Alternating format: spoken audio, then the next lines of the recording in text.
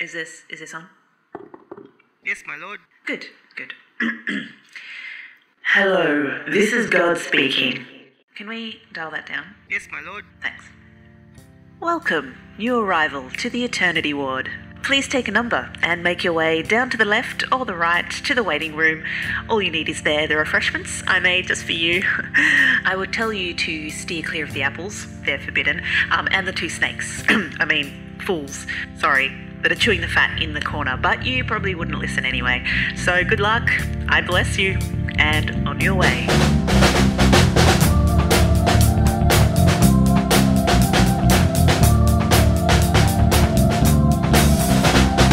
Welcome to the Eternity Ward, where we drink cloudy ciders and chat with our buddies while we wait for an appointment with God. I'm Nick McKinnon. And I'm Kris Adams. Cheers. Clinkies.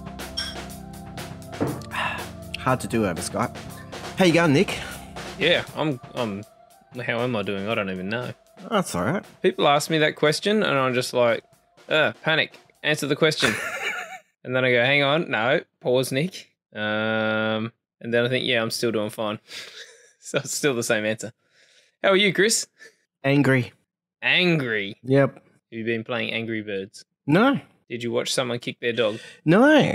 Um, I've just been uh, watching the news and hopping online and getting angry. What are you getting angry at? well, today, Manus, Manus Island. Have you been keeping up to date with the news? Uh, I believe there's police on Manus Island, which sounds exciting. Yeah. It's just I'm angry at what's being done in our name because the the refugees in Manus Island who have done nothing illegal, they've had their possessions taken and destroyed, and they're being herded against their wishes into a place that scares them. And that's after four years of being detained in one complex without much hope of a resolution or a future. And so I'm just they're scared, and I'm angry that we're doing this to people who are scared. But getting online, you know, I thankfully there were many Australians supporting refugees, but then I get, you know, they what do they say? Don't read the comment section. Not if you want to be angry. If you want to be angry, then definitely read the comment section. Uh, maybe I did. Maybe that's why I did it. But you know, when you see your countrymen saying, you know, I hope you die, vile scum, and ha ha, you're never coming here. You know, I get angry. I don't think angry is very healthy for me, Nick. So, what do you want the government to do with these people then? Oh, look, I don't know. I just feel like we're creating a, you know, another stain on our history, which we're going to have to have a big sorry thing for. I know it's complicated, but it's just, I'm I'm annoyed about it, but I don't want to be. But we're not causing it. Australia has nothing to do with this. What are you talking about? What do you mean we have nothing to do with this? This is stuff that we're doing in our name. It's not our police force. We ordered another country's police force to go and kick people out of somewhere that we're responsible for. What makes you think we ordered it? Peter Dutton ordered it. Did he? Yeah, He he can order the Papua New Guinean police. That sounds very unlikely to me. he asked for it to be done. I don't know whether it was. I don't know whether he said politely, "Can you please remove these people?" or "I'm telling you, remove these people." But it was his instigation. You don't reckon he just said, "We've closed the center. You guys go do what you want." He maybe he did. Yeah. No. Well, that's different then. It is Papua New Guinea's country. Yeah. But he, he gave the go ahead for them to go in and remove people that we're responsible for. I'm worried about it, angry about it. Do you remember that um the uh the Monty Python sketch with the Judean People's Front or the People's Front of Judea? I never remember which one it was. No, I have no idea. I've, I don't think I've ever watched a Monty Python anything. Really? I've eaten some of those killer python snakes. They're really good. So he goes to join this activist group called the Judean People's Front or whatever, you know, and they're saying, "Oh, we're a hate group," and he's like, "A hate group?" And they go, "Yeah, we hate hate." I sometimes feel like that's the sort of hate group I'd belong to, uh, a hate group that hates hate.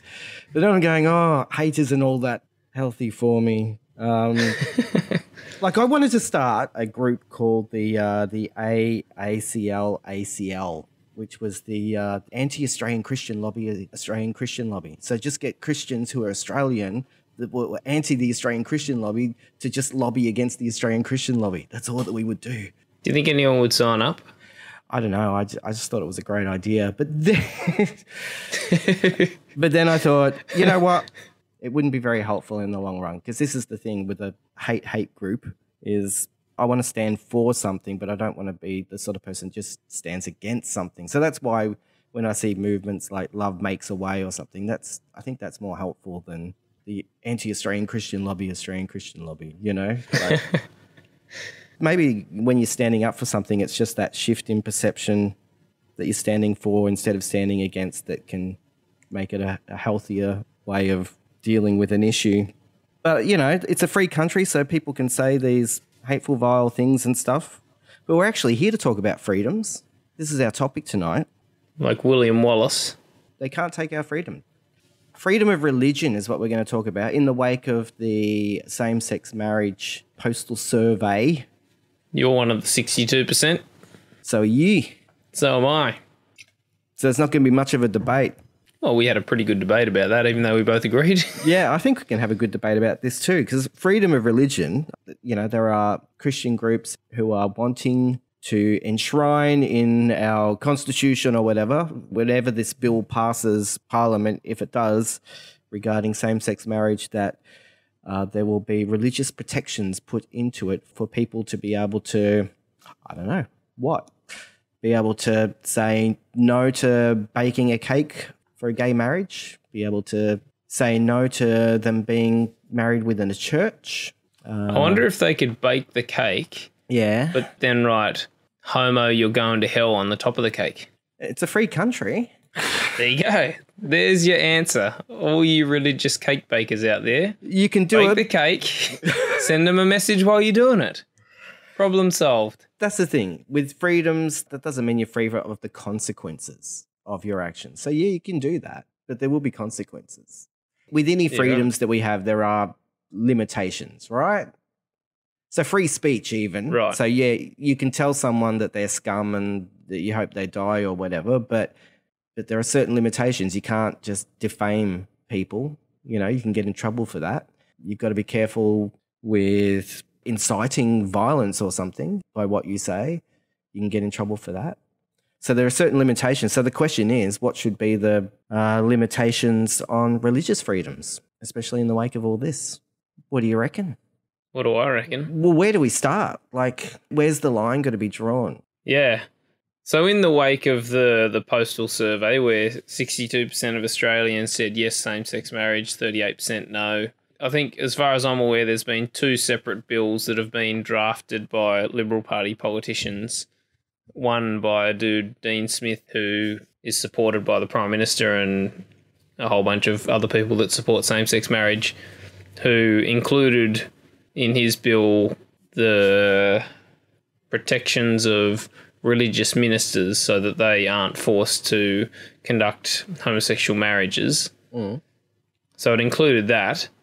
But then there was this other dude, someone Patterson. I don't know who is it. James Patterson.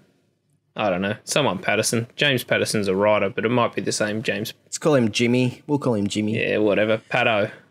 Because at least I know his name's Patterson. he drew up a bill that was more supported by the people that voted no in this plebiscite, or not plebiscite survey.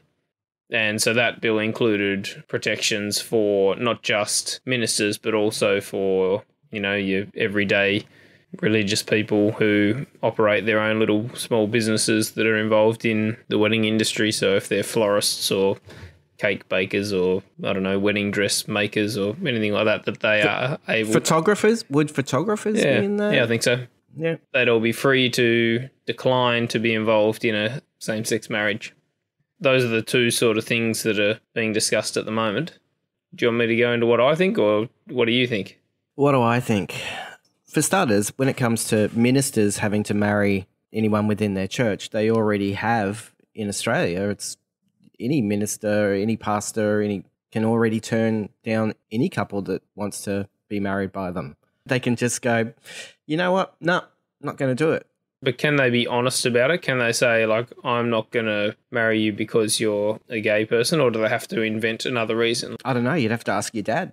He's a pastor. Yeah. He can marry people, can't he? He can marry people. I'm cool with uh, any church that doesn't want to marry a homosexual couple within their church. I'm fine with that. I think that's a religious freedom that they should be allowed to have. Yeah. Is it discrimination? Yes, it's discrimination. You're making a you're discriminating. you're making a choice, but people often use the word discrimination like it's this evil, wrong thing, but we discriminate all the time. Like discrimination is choosing between different things that, you know, it's drawing a line somewhere. It's just whether it's unfair discrimination. Is that a fair discrimination then for a, a religious institution to be able to say, uh, yeah, not in our church? I think yes. Should they be allowed to say, I'm not going to conduct an interracial marriage? Because there will be religious people that say that. Yeah, man. Booyakasha! Yeah. Oh, you got me. Because, yeah, nah. So, so the question really here is like already there's a protection for them to be able to turn away anyone they want, but you're saying now, can they say why they're doing it? Yeah. Because then that becomes that becomes offensive. Uh, you know, yes, you should be allowed to offend people in certain situations. No, you're never that's- allowed to offend anyone, Kris. It hurts their Oh, feelings. come- uh, well, let's talk more about free speech then, Nick. you are allowed to offend people. Cool. So, cake bakers should be allowed to say, no, I'm not conducting your evil, hellbound gay relationship. And ministers should also be able to say that. No. Why not? See, I have a difference where I draw the line. Draw me a line. Well, it sort of fits within the separation of church and state in that a cake baking business operates within a secular society, whereas the church is separated by this line where, where the state doesn't have power over the church and the church doesn't have power over the state. So the church should be free to be able to say no, but a cake baker is not free to say no unless they're operating from inside a church. But no, I think operating within a secular society, your cake making business pays taxes and you fit under all of those anti discrimination laws. You can't, I just think you can't do that. But religion should be allowed to operate outside of that. Yeah, but maybe not. But yeah. Hold on. So, I mean, well, we have this separation of church and state, but I, I guess you need to talk about what that is, what that means. and also whether it just applies to your religion or all religions. Because your religion ain't the only one. There's other ones, and you will consider them wacky, yeah, but they probably consider yours wacky. yeah, So it can't be whether you think theirs is wacky that is the thing that works out whether it applies or not. yeah. Well, the separation of church and state uh, is sort of part of our constitution. It doesn't call it separation of church and state, but it talks about that the Australian government cannot establish a religion. Australia can't identify as a Christian nation or as a particular denomination. My understanding is the separation of church and state, you know, partly why the church doesn't pay taxes as well, is that, you know, the state should not have power over the church and shouldn't be able to tell the church, you know, what they can do with their beliefs in the same way that the church shouldn't be able to have power over the state and tell them how to run the country. But you don't believe that. There's no way you believe that. In what sense? If there's a Muslim that believes in genital mutilation, Yeah. you're not going to go, well, that's your religion, so, you know, go for it. We have laws in Australia that say that's not cool, and Australian law takes precedence over whatever the hell your stupid Muslim beliefs say. And like some Mormons and Muslims and Christians will believe in polygamy. And, well, bad luck, because our Australian law says that's illegal. We don't care what your religious belief says. Australian law takes precedence. Yeah, well, any freedoms, there are, you know, limitations. Give me an example of a religious view Mm. that should be allowed to exist even though it's against the law for anyone that isn't religious. That's not the way it works, though. Well, that's what we're talking about with religious exemptions.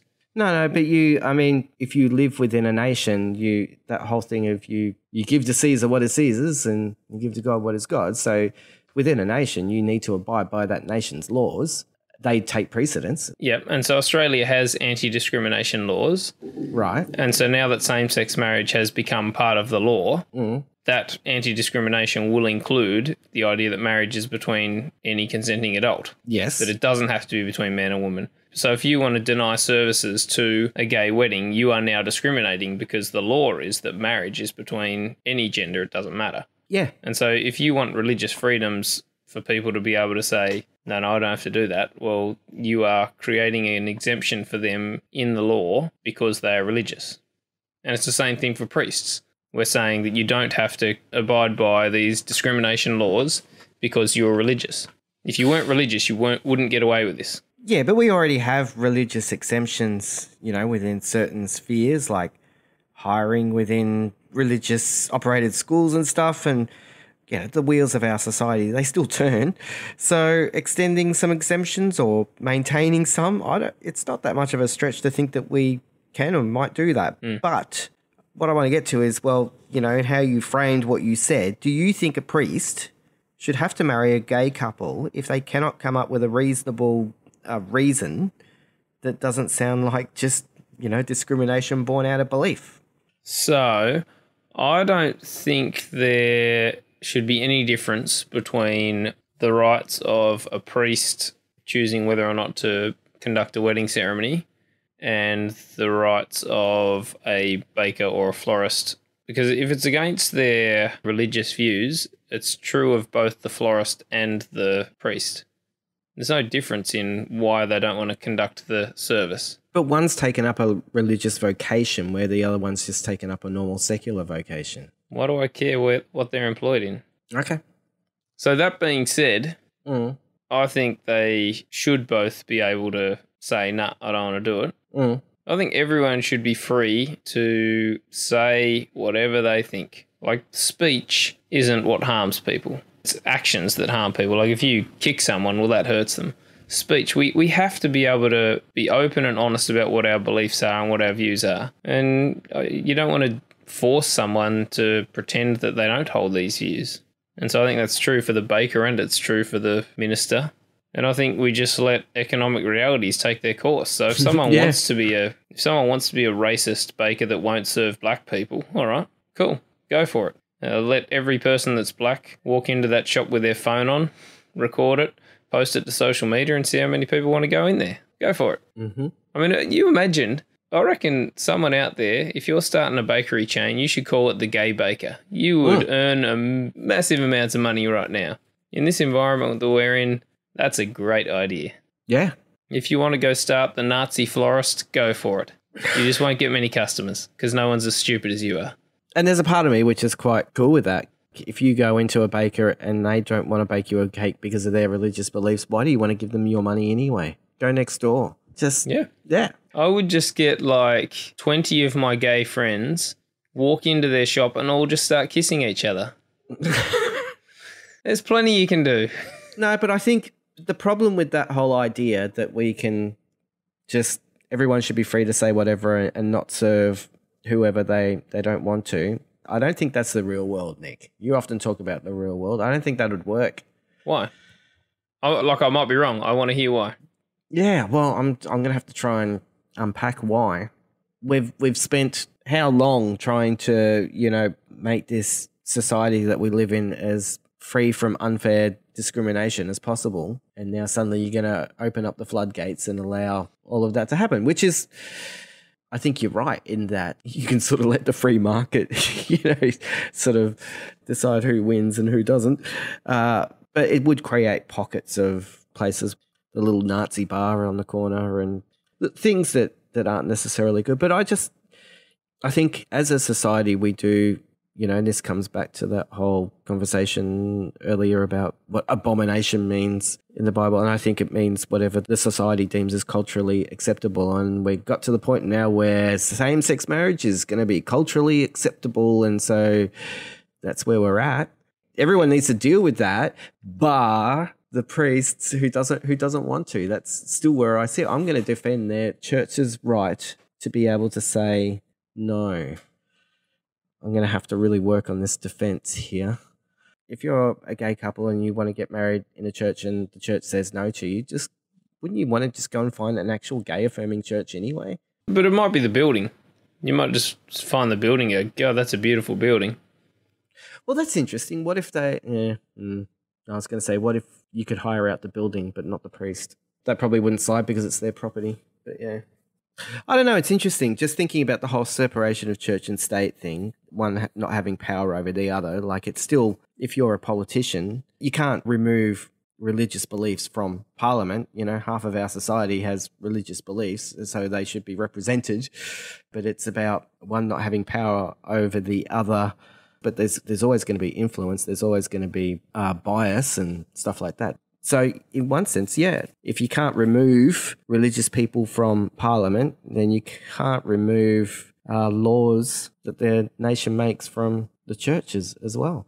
If they make a law, then the churches have to abide by it. You can't remove religion from the politicians, from the people, No. but you can remove religion from the institution. And I disagree with you when you say that church and state needs to be separated and neither can have power over the other. I think the state should have power over the church. The church should be just like any other organization. Like you can't say that any one organization within the state is excluded from the rules of the state. Like we were talking about before with, you know, a Muslim group who agreed with genital mutilation or a Christian group that thought that the Old Testament was awesome and you're allowed to kill your kid if they swear at you. Like, if anyone has that view, well, bad luck. I don't care if your religion says that. Our law says this. Abide by it. You don't get a choice. Yeah, but look, as I said, law takes precedence, but finding the balance is what the separation is about. You know, the state can't say you may not pray, you may not congregate, you know, and I'm not sure exactly where I stand on some, some separations and where they, you know, sort of bleed over. Not a massive fan that they say a, prayer before Parliament that sits each day, and I'm not a massive fan that churches avoid tax, especially when some are run more like businesses. You know, so in some cases, religion should lose a few freedoms. I've been listening a bit to your mate Lyle Shelton, and one of the things Remember anti-Australian Christian lobby, Australian Christian lobby? Uh, that, that's just your way of pretending. Lyle Shelton is the, the head of the Australian Christian lobby. I was listening to a podcast of his where he was sort of listing the concerns he has with uh, religious freedoms in this post same sex marriage world. One of the concerns he had was that religious charities could lose government funding if they hold to their religious definitions of marriage. And so, talking about the good that churches do in the world, or religions do do in the world and in our society, that you know, if they want to continue holding to their religious doctrines, that they could be at risk of losing government funding. That was an interesting issue. Why would they lose government funding if they did what or said what? Would you want uh, an aged care facility funded by the government and run by a Christian organisation to be allowed to refuse entry to a same sex couple? Or should Anglicare be forced to offer marriage counselling to gay couples? Mm. Because if they just say, no, we're not going to do it, I would be one of those people that says, well, that's not cool. We Yeah. want our money back. I'm not too cool with that either. Mostly because I think it's a wrong belief. But should they be entitled to it? But then, you know, is someone like Lyle Shelton going to come out and say that he's feeling oppressed and persecuted? Is he going to go to another country and claim asylum saying, they're oppressing my religious beliefs? You could probably Um, go to the southern United States and get away with that. Most people would just sort of like, you could, that's not persecution. But that's what happens when you say to people that their religious beliefs are sacred, that you're allowed to believe whatever you want and we're not allowed to question them. Well, freedom from religion is as important as freedom of religion. Penny Wong said um, that religious freedom means being free to worship and to follow your faith without suffering persecution or discrimination for your beliefs, but it does not mean imposing your beliefs on everyone else. She was saying that in regards to religious institutions calling for protections in relation to the same sex marriage uh, survey. So that's what she's saying. But what you're saying is everyone should be able to free to say whatever. And you don't really care for the idea of a separation, you know, to mandate those sorts of protections. Uh, I, I don't know. I'm a bit confused. If you say no exceptions, you know, you must come under the law. Aren't you suggesting that all priests and ministers, etc., will be forced to marry everyone? I'm saying any no, you should be able to say no. Oh, no to anyone, right? Yep. Okay. But everyone should have to abide by the law. There shouldn't be exemptions for any religion. Because once you allow exemptions for one religion, you've got to allow it for all of them. But if you open up the discrimination laws like that, you open it up everywhere, right? So then you can discriminate against disabled people for reasons, for whatever reasons you want. You can discriminate against people based on color. You can. Is that really the society we want to live in? Give me a negative consequence. A negative consequence. Um. Okay. So the Australian Parliament building doesn't have the right infrastructure for a disabled person to access their office if they were voted in as a member of parliament. So they're just like, we're not going to build that infrastructure for you, so you can't be a member of parliament. Sorry, bye. That just came to mind because there was a member of parliament just recently and they had to do some work to, to alter some stuff so that he could get to where he needed to get to. I mean, your idea that public shaming would be the the the recourse for people to be able to to overcome these discriminations would be the uh, the method that they would use to to right the wrong Yeah.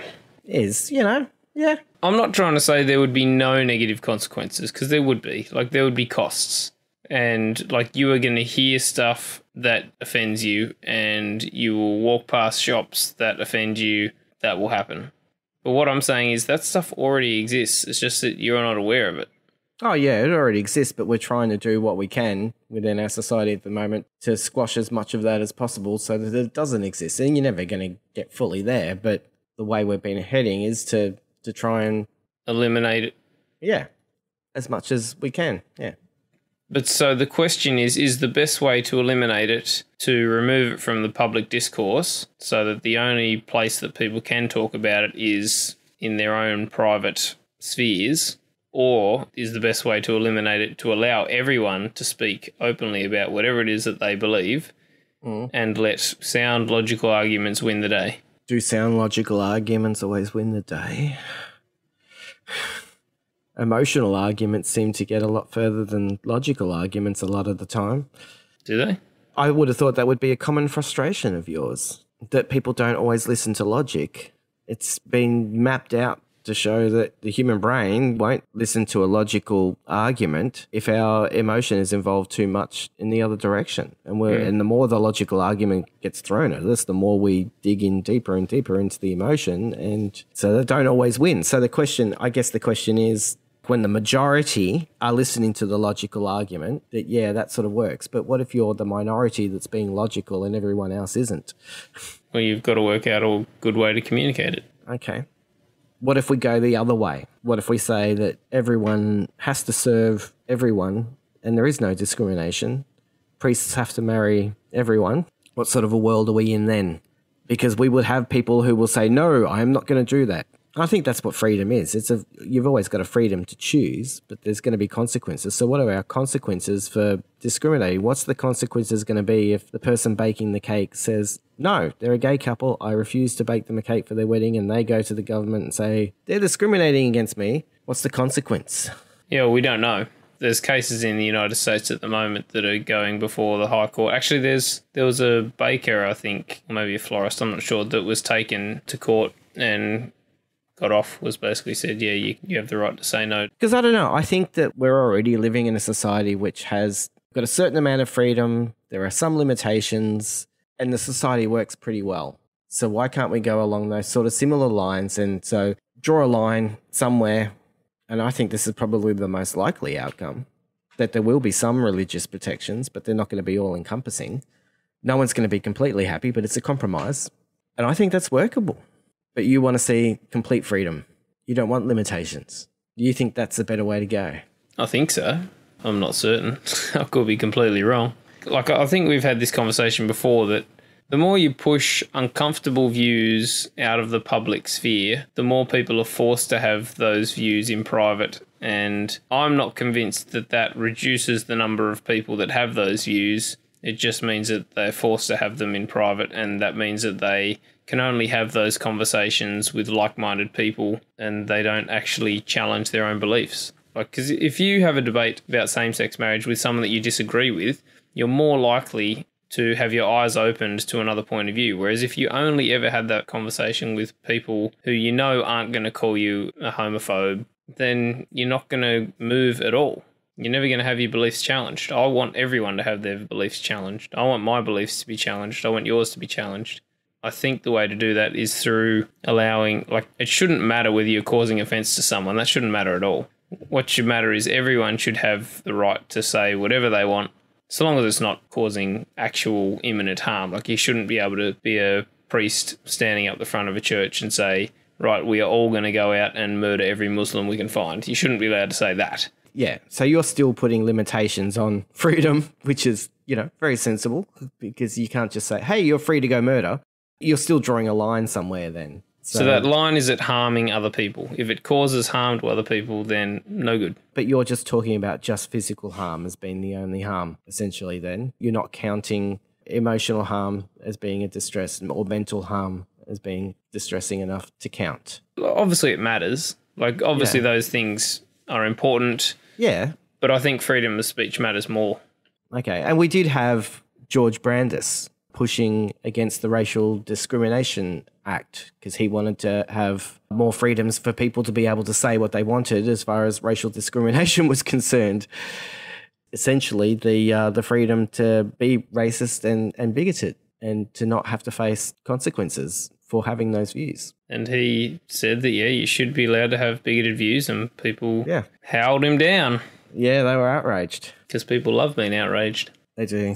Because if you just shout those people down, they don't stop existing. It's just that you stop hearing from them. And that's not helpful.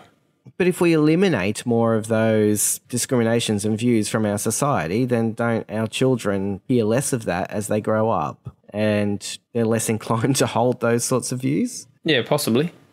Possibly, yeah. But I think my job as a parent, like, I don't think I'm absolved of responsibility if my son hears a racist view at school. Like, I think my job is still to say, yeah, those views exist. Mm. Let's not pretend they don't exist. They do exist. There are people out there that are racist. And here's the arguments why racism is stupid and not the way to go and harmful and all those sort of things.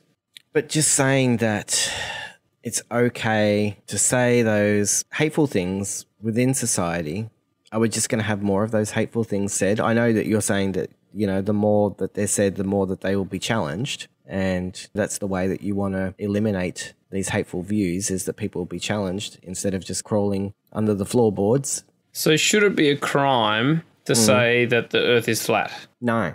No, we should just argue against them and say, well, you're wrong. Yeah. Here's the evidence. If you want to believe it, you can, but Yeah. you're stupid. Should it be a crime to not employ someone because they're black? Yeah, I don't think so. And that being said, I think that's horrific. If you're someone that does that, Yeah. Yeah. you're a racist idiot. What I hope would happen is that there are other, like, you're creating in your own business a deficit because there's a pool of employable people out there. There are plenty of intelligent black people out there. And if you're that company that is refusing to hire black people, you are just reducing the pool of people that you can employ from. And like if you get a black person apply for the job and a white person and even if the white person is 10 times stupider than the black person you're going to employ the white person and you will pay the cost for that and the other companies that are happy to employ black people will do better than your company But what if you're the black person that doesn't have a job and no one's hiring you because there's a lot of racism within the society? Is that fair? no that sucks Yeah. but that probably still already happens Oh, yeah, of course it does. would it change anything maybe it would like i mean coles is not going to change their hiring practices like if they came out and said aboriginals we're not going to hire you there would just be such an outroar uproar uproar is a word they wouldn't be able to do it like just the financial costs of it would just be massive the only people that are going to do it are tiny little companies anyway Mm. and they're probably already doing it So, what about disabled people? what about them There are laws now around for large organizations, and a lot of them come up with their own policies and, and principles as well. But there are laws around, you know, having a certain quota of employing disabled people. oh quotas are the stupidest thing Ah, here we go. Really? You think quotas are a good idea? You're forced to employ someone just because they're from a minority. That is stupid. In an ideal world, you wouldn't need to address the imbalance because it would be balanced. Yeah. but it's but it's not the ideal world. So we put pressure on organizations to address the imbalance. I like your idea of more freedoms of bringing things out into the open, but I'm also scared about what that brings out into the open and what, and what the ramifications are for people who are who are a minority and aren't able to get that people power behind them for the public uproar or whatever, and it might not be fair. But yes, you're right. It already goes on. But back to what we were talking about.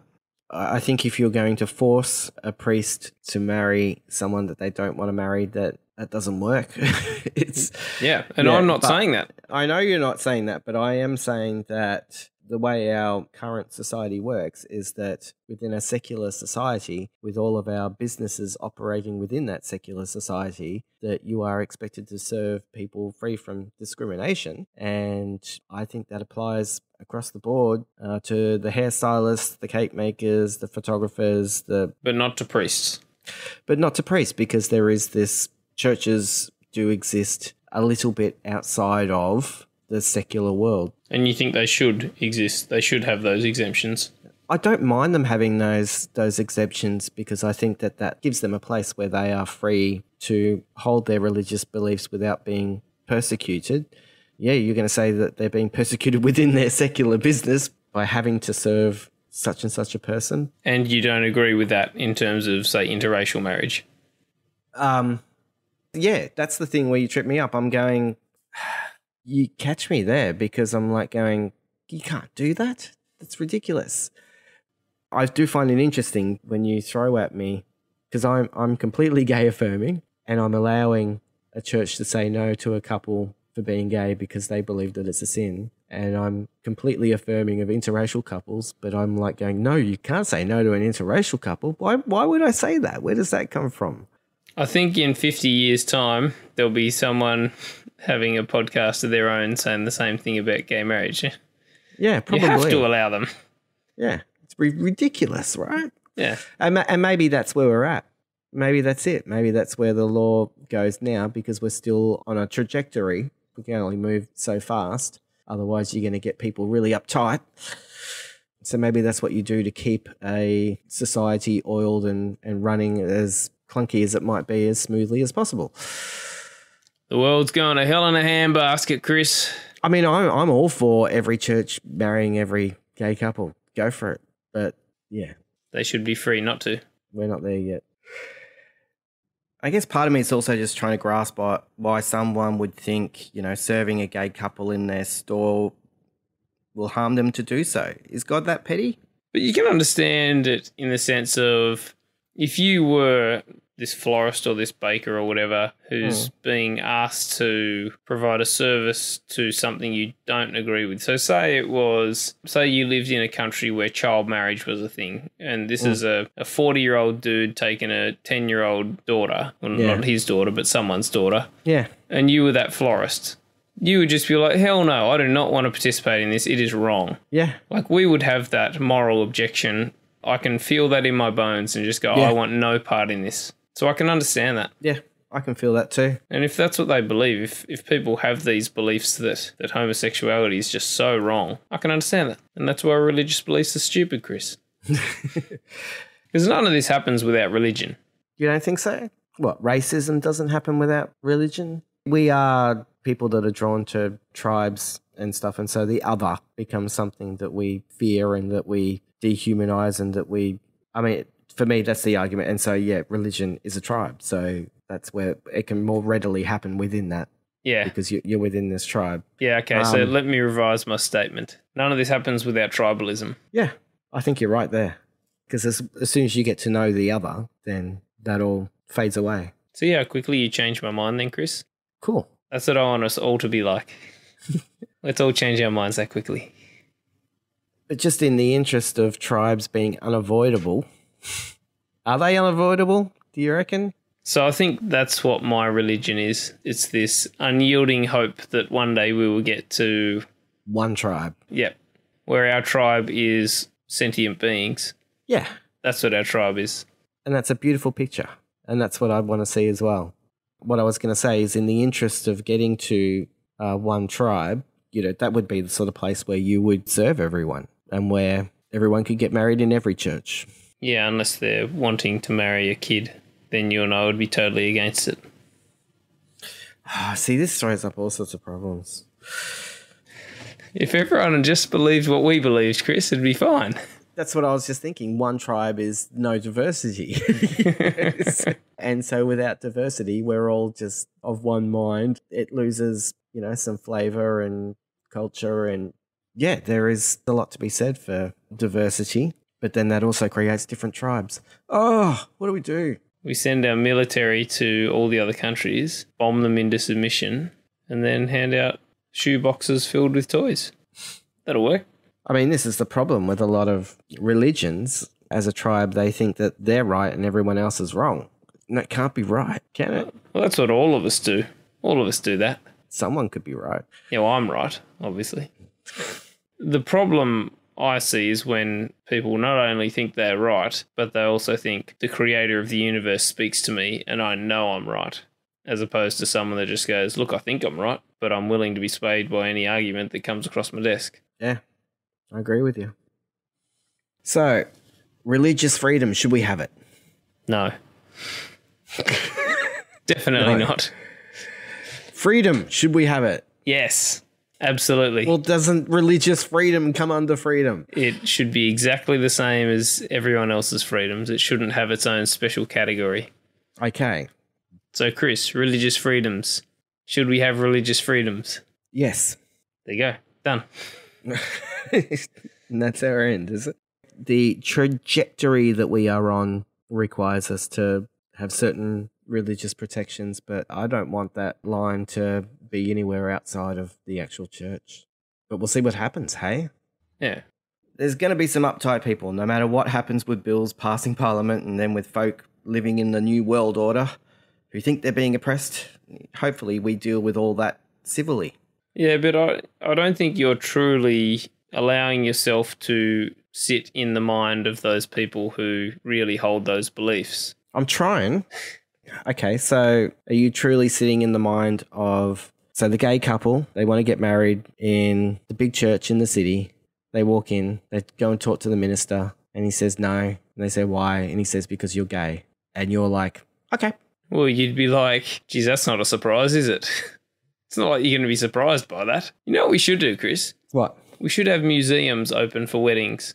Because then people that aren't religious can find another awesome building with lots of historical value to it. They can just get married there. I'd be happy to get married in a dinosaur exhibition of a museum. How sick would that be? That'd be awesome. There you go, problem solved. Um, but where did you get married? In a church, In a church. like all good people, Kris. Mm. In a church that I built, no less. You built it with your own hands. I built it with my own hammer and nail. Wow. You got married on a garden path, I did. Well, a walking track. a walking track out in a national park where they actually said we, we rang them and asked if we could um hold our wedding there and they said no.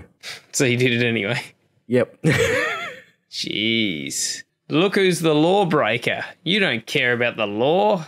So it was in a national park. They said no because they couldn't close the walking track. And we said we don't expect the walking track to be closed. We're just going to get married on it. And they said no, we can't allow that. And so we just went and did it anyway. We had tourists wandering right through the middle of our wedding. Like some German tourists came between Biz and I as we're getting married. And we just sort of said hello. And they said hello. And then they kept walking through. And everyone thought it was fun. We don't need laws, Kris. It didn't hurt anybody. Didn't hurt anybody. No. So you were denied the place Yeah, that you wanted to get married in. That's correct. And you just went and did it anyway. yes. So Kris's message in this is if you're gay, just break into the church that you want to get married in. I'm all for that. There you go. All for a little bit of um, what would you call that? Guerrilla marriage. Guerrilla marriage, a little bit of uh, revolution, a little bit of rebellion. You know another tribe I've been thinking about, Kris? No, which tribe have you been thinking about? The Eternity Ward tribe. Oh, the Eternity Ward tribe. I've been thinking we want to hear from them. Yeah, I want it to be a community. I want to have guests on our podcast soon, Nick. I want them to be from our tribe. That's right. I wonder if there's anyone that wants to be a guest on the podcast. Well, if you want to be a guest on the podcast, let us know. If you've got a topic you think we should talk about. Mm. The only Yeah. people that have contacted us have been very friendly and have said nice things about us. Dave Hammond said that uh, we. Oh, well, he was nice. He said that this could be an important thing, and we'll probably get better as things go on. Um, but you know, he thought some of our ideas weren't very thought through, and I, I thought that was very accurate feedback because we don't always know what we're talking about, but we're going to talk about it anyway. That's what we do, right? That's a great promotion. we just sit around wittering, Kris. yes, thanks, Emily. No, but I want actual criticism. Sure. Yeah, I like I'm criticism. We can take it. We don't mind Yeah. being offended, do we, Kris? not at all. I, I'm very open to any specific feedback, no matter how critical. I know I'm a lot better at giving specific negative feedback than I am at giving specific positive feedback. So if you're like that, we want to hear from you. Nick wants to hear from you. Kris has en- enough negative self talk. Yeah, I just need my my ego stroked. That's about it. Good, Kris. Well done, Kris. Kris, you're fantastic. Nice, Kris. If you're a fan of Five Seeds Cloudy Cider, you can come on the podcast. Cheers, If- Nick, Cheers. Blink. and cheers to you.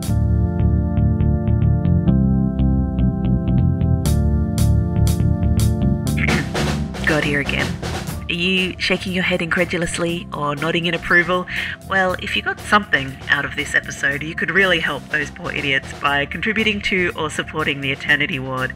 You can leave reviews on iTunes or wherever you listen to it. You can share it on social media or discuss it in your blog, podcast, or fellowship group. Subscribe, like, nod your head, raise your fist, send a hallelujah. I don't know, but don't send a prayer because I'm kind of busy right now. Join the discussion in the comments section.